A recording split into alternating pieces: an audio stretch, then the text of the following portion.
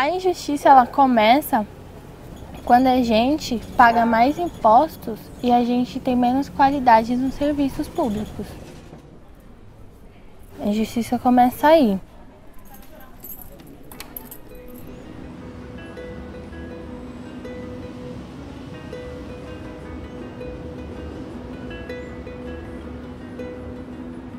A gente paga muito imposto e a gente não tem uma saúde de qualidade, a gente não tem uma escola de qualidade, uma infraestrutura de qualidade, a gente não tem acesso à cultura.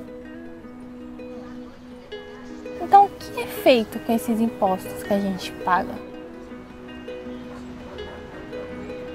O teto da minha escola, de uma sala, estava caindo. Alguns professores começaram a faltar. Só para você ter ideia, nem mesa tinha para eles usarem tipo, meio que no improviso.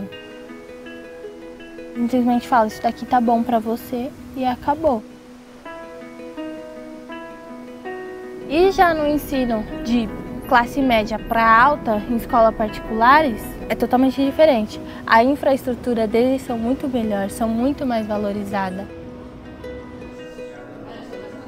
Que o movimento estudantil trouxe para mim é uma visão de que eu posso ter uma educação legal, que eu posso ter uma saúde legal, que eu posso ter tudo de qualidade desde que eu exija, o que por direito é meu, mas que na realidade não acontece.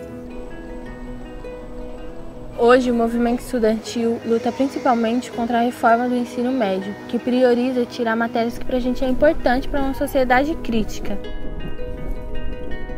E agora a gente está lutando contra a PEC 241 e a reforma de ensino que por 20 anos congelaria os gastos que seria para a educação e para a saúde.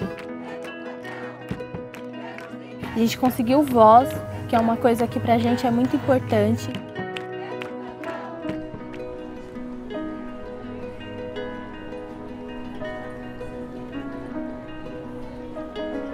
Jovens como Tayla têm seus direitos negados diariamente pelas desigualdades. A Oxfam Brasil, junto com outras organizações, luta para mudar essa realidade. Clique aqui e apoie o trabalho da Oxfam Brasil.